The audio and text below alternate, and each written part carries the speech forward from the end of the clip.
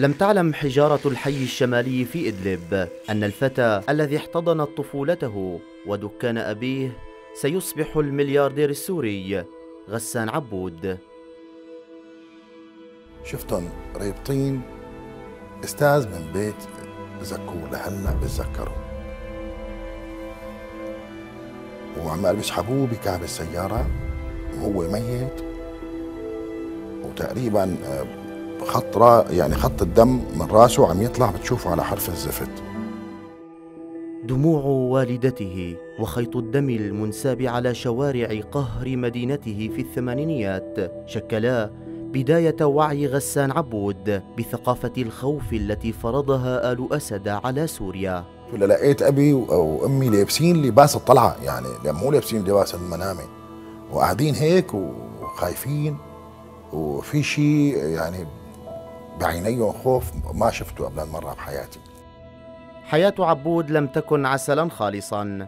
تخرج من كلية الصحافة في دمشق عام 1991 وأغلقت دونه أبواب العمل. في بلد سدته المحسوبيات والطائفية حتى طالت الدواء ولقمة الخبز. أعيته الحيلة وهو يرقب موت زوجته الحامل وجنينها معا. لعدم قدرته حينها على دفع تكاليف العلاج. حاولت وقف جنبها حاولت شيء فتوفت هي وجنين غادر غسان سوريا ووظف الأسى كدافع للإنجاز. الفقد كان نقطة تحول كبرى. ليصبح اليوم وفق مجلة فوربس الملياردير السوري الأشهر في سوق الضيافة عالمياً.